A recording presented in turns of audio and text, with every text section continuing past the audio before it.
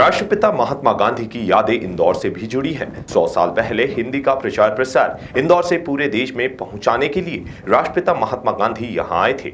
एक दिन बाद 29 मार्च 1918 को आठवें हिंदी साहित्य सम्मेलन के मंच से महात्मा गांधी ने 15,000 लोगों को संबोधित करते हुए हिंदी के प्रचार प्रसार का शंखनाद किया था।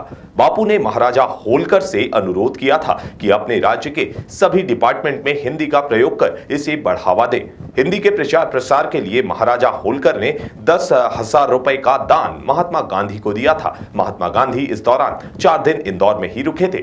28 मार्च 2018 को महात्मा गांधी होलकर स्टेट रेलवे से इंदौर आए थे। बापू को जुलूस में ले जाने के लिए चार घोड़े वाली बग्घी सजाई गई थी। लेकिन मौजूद जनसमूह ने बग्घी को घोड़ों से अलग कर दिया और खुद अपने हाथ से बग्घी खींचने लगे थे। ब्रिटिश सरकार ने अपने नोटों और सिक्कों पर से हिंदी के अक्षरों को हटा लिया था। सम्मेलन सम्मेलन में इसे पुनः अमल में लाने की आवाज़ें उठाई गई थी। यह प्रस्ताव इंदौर के सर सेठ हुकुम चंद ने प्रस्तुत किया था। इसका समर्थन महात्मा गांधी और सभा में मौजूद बाकी लोगों ने भी किया था।